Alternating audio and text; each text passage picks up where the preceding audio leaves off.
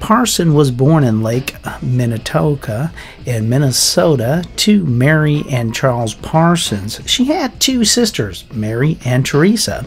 And of course, when she was 17, her father remarried uh, to uh, Geneva Stack and was relocated with second wife and daughters to South Pasadena, California.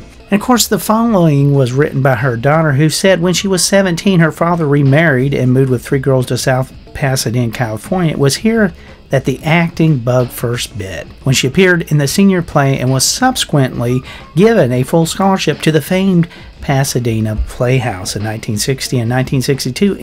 In her two years there, she appeared in some of the great works of Edward Albee, Clifford Odets, Tennessee Williams, Max Bollinger, and William Shakespeare, and among others. Nancy married Alan Hipwell immediately after graduation and gave birth to Elizabeth Hipwell on November 3rd of 1964, and of course to Margaret Hipwell on October 7th of 1969. She returned to acting after divorcing her husband while at UCLA, completing a theater degree. She won the Hugh O'Brian Award, an event that launched her career.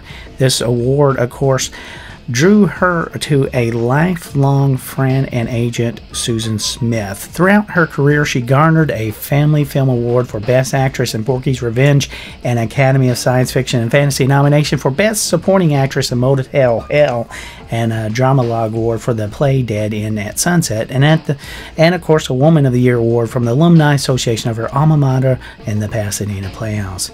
These are all her career achievements, but we would say the greatest legacy she has left us is the ability to live passionately as individuals. Nancy always believed that art was the noblest of path ones could follow, and that it took immense amount of courage, stamina, and chutzpah, one of her favorite words. Nancy is survived by Margaret Hipwell and her children Cassidy Colson, Jasper Colson, and me, Elizabeth Hipwell.